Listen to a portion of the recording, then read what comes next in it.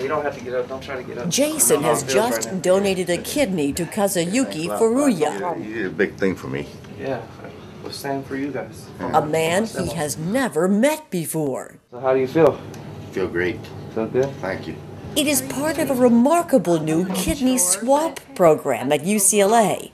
In return, Kazuyuki's daughter Tiffany has donated a kidney to Jason's mom. You look good.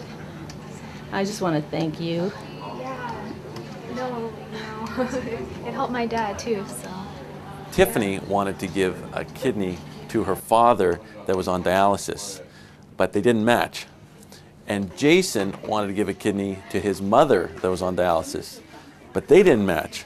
But what we did is we brought the families together.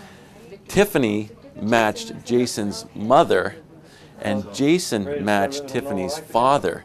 So we did a swap of the kidneys. That way, both parents got a kidney and they don't have to stay on dialysis for years and years while they wait for a deceased donor kidney to become available. A kidney swap happens when a patient needs a kidney, but the person who wants to donate a kidney is not a match. Doctors then find someone in their database who is a match for that donor kidney.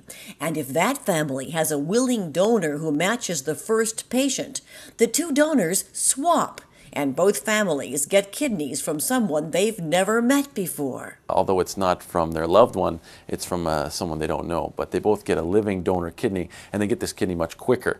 In the United States, there's over 60,000 patients waiting on a list for a donor kidney. In Los Angeles, there's upwards of 5,000. So any solution we can come up with for getting people transplanted with living donors will go towards solving that problem. It's an enormous So problem. hopefully we can stay in contact.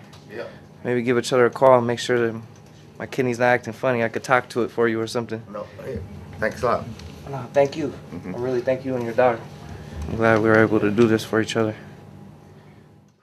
I don't know. It, it, it took a little time to think, but you know, hadn't expected a total stranger to give me the, his his kidney. You know, I was, I was anxious.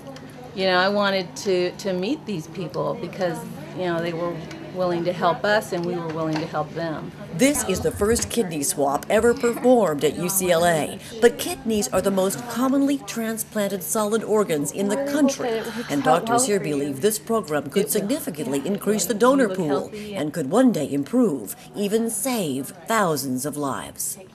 My hope is that these two families, uh, especially obviously the recipients, can have a fuller life, uh, can kind of seize the day.